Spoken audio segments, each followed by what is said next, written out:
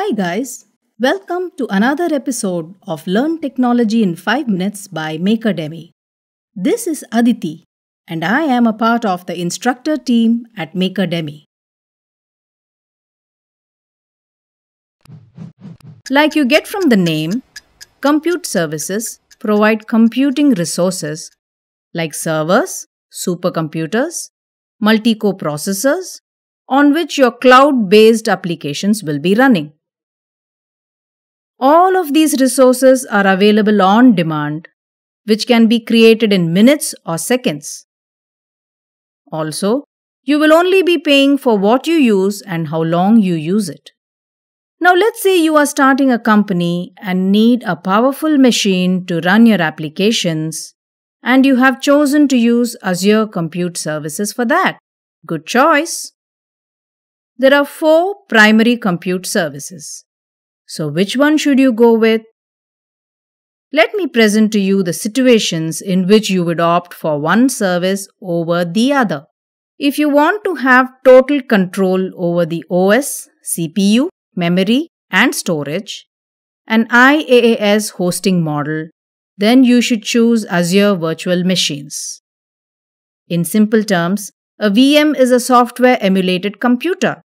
Okay, Let's say you want to run multiple applications that have different runtime environments, then you should go for containers because in this case, VMs don't work.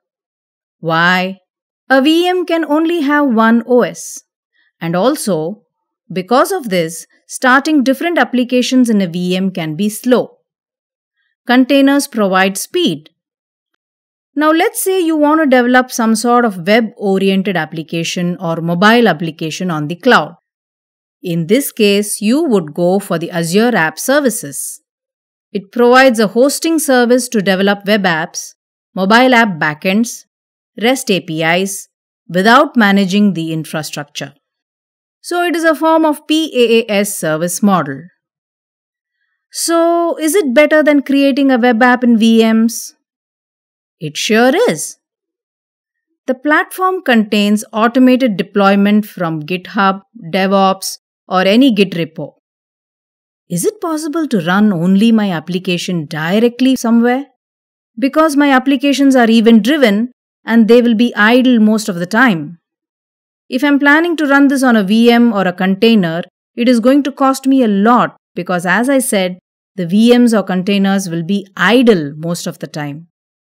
So what option do I have here? In this case, we should go to Azure Serverless Computing. Here, you don't have to even think about the word infrastructure. They are taken care of by Azure, even the scaling and performance part.